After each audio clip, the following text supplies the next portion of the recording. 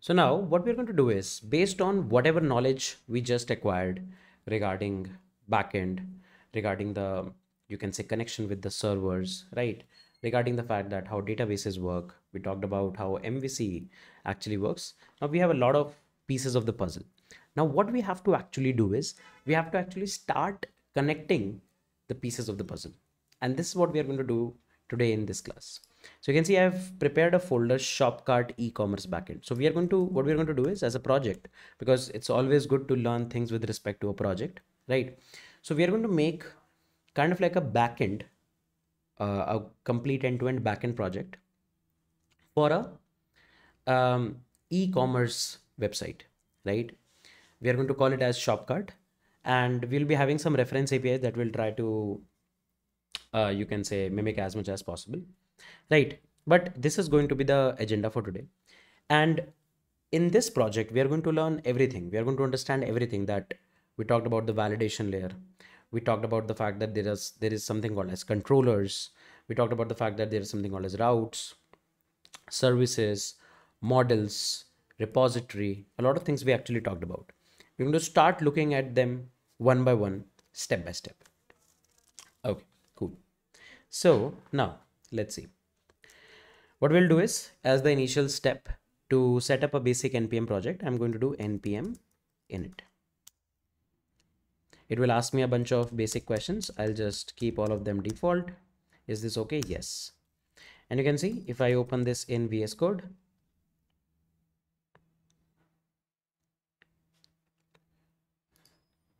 you can see a basic package.json has been prepared for us okay cool now what we are going to do, we are going to install some packages. First package that we are going to install is going to be Express. Okay. One more package that we are going to install is NodeMon. Here we go. Then what we are going to do is we are going to write a script npm start. We'll say npx nodemon index.js. Okay or uh, let's call it like this. Npx nodemon source slash index.js so our main server file where we actually set up the port and the express object and everything we're going to keep that inside source slash index.js so i'll create a new source folder. You can see there is a new source folder. And i'll create a new file index.js okay here what i'm going to do is i'll take express. Is equals to require express. Const app is equals to express. We'll get express app object. App dot listen. Okay. For the timing i'll just hard code port 3000 i'll give a callback console.log server for shopcart is up. Okay cool. And now what we are going to do is we'll say npm start. And you can see it is able to successfully detect our index.js file inside the source folder right? Why i'm keeping a source folder? Because all of our backend logic setting up the servers setting up the models repository controllers everything. I want it to be segregated out inside this source folder right? Because you can see outside the source folder there is a node modules folder. When we will push this code on uh, github then we do not want to push node modules. So i want to keep it separated of course right? Why do you not want to push node modules? Because this is a very heavy folder altogether. Pushing it on github is absolutely unnecessary because if somebody clones this project maybe based on their machine's configuration these node modules might not work maybe because this is for my own machine or for my version of node right Apart from that, there is a package.json and package lock.json. This is good. Now let's do one thing. Let's create a new dot git ignore file.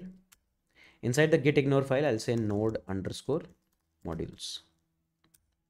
Save it. And now what you can do is you can do git init. If you do git status, you can see no node modules coming up. I'll say initial commit and we need a remote. So let's set up a project on GitHub.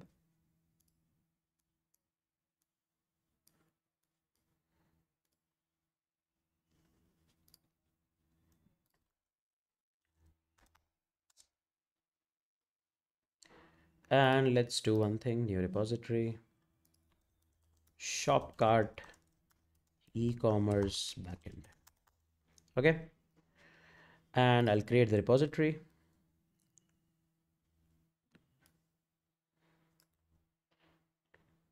I'll add remote. Uh, I'll check out the master branch and I'll push the master. And if I refresh, you can see a basic bare minimum e-commerce backend is up. I'll add a new readme.md file as well. I'll say project setup instructions. Okay. So the first instruction is clone the project. How do you clone the project? Copy. You say git clone.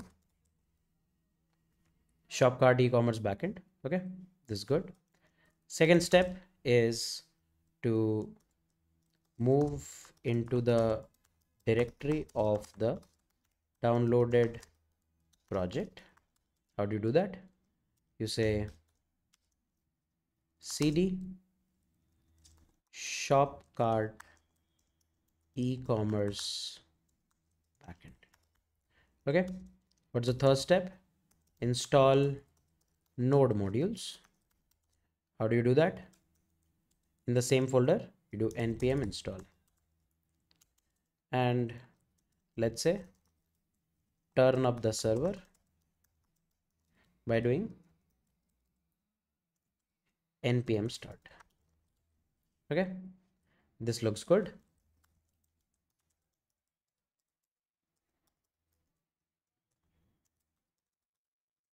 added readme. And here we go. So if now you will refresh you can see i've added some basic set of instructions. So if you are at this point of time like you are actually you were actually looking at my code and if you want to start code along or you want to follow along the code you can follow any of these steps. And if at any point of time if you want to uh, clone the latest uh, you can say uh, commit you can actually get that. So these are the basic setup instructions. I'll add more setup instruction because we are going to add some environment variables and everything. But this starter package is something that we are good with. So one more step that we are going to take inside our setting up part is going to be installation of dotenv so we're going to install dotenv here we go. And what i'm going to do is inside the source folder i'm going to have another folder config Inside the config folder, I'm going to have a file server config.js. Inside the server config.js file, I'll say const.env is equals to require dot .env. Okay. And we need to call .env.config. Okay. So this config method we have to actually call. And then what we can do is we can say module.exports, right? We can say port as um, let's do one more thing. Uh, let's create a new .env file. We'll add this .env file in git ignore .env save it. Okay. So I don't want to push my environment variables. I'll add the instructions in the github readme instead. So I'll say port equals to 3000 right. So this is good. This is good because and why do we not want to do it? Why do we not want to do it? Is because of the fact that inside these environment variables because this is a backend code there can be some sensitive information as well. For example the credentials to connect to a emailing server maybe something like that right?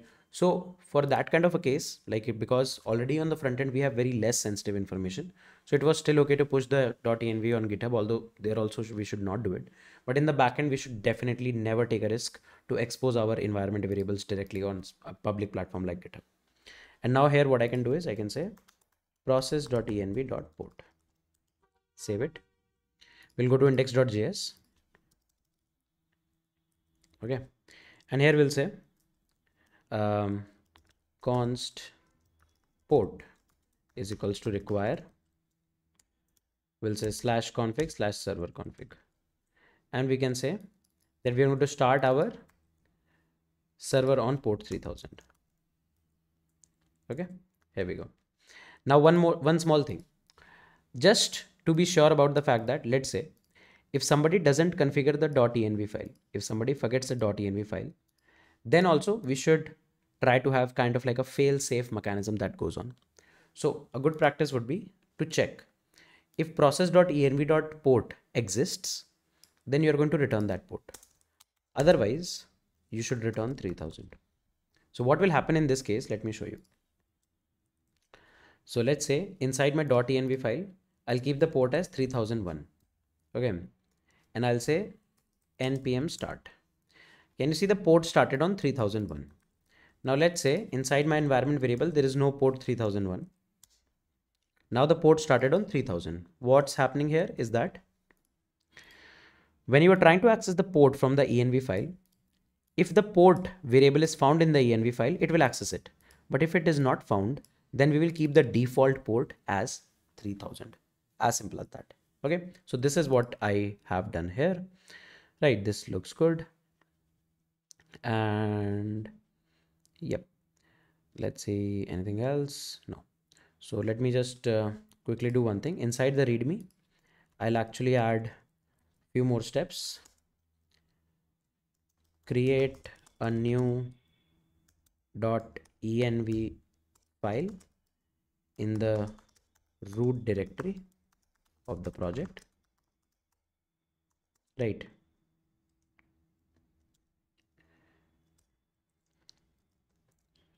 You can do it using let's say vim.env okay so in case you don't know how to create a .env file from VS Code or something I've given a command.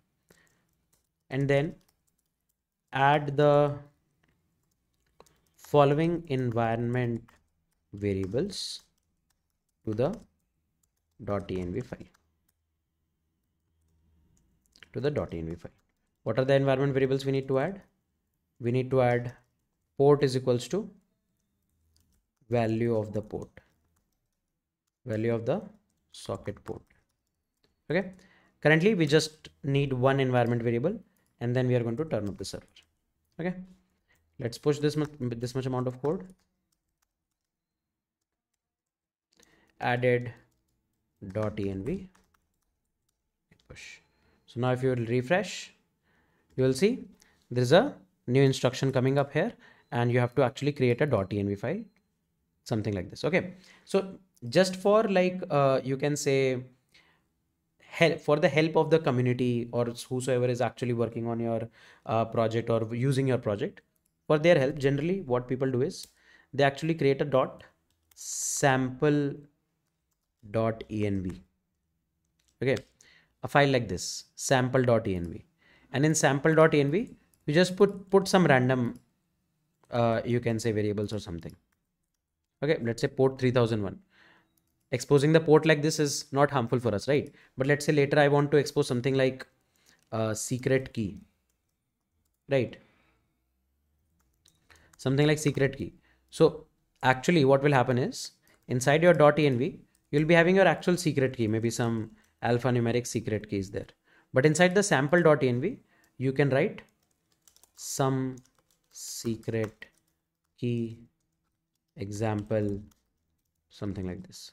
Right, you can write something. So at least they understand how the structure of the overall .env file looks like. This is the agenda. So a lot of time people actually do it. I believe it's a good practice. So, and uh, we don't want to add the sample.env inside our gitignore because we want to expose this sample.env to GitHub. This is again, as I mentioned, to make sure that the people understand what should be the structure of a .env file. Okay.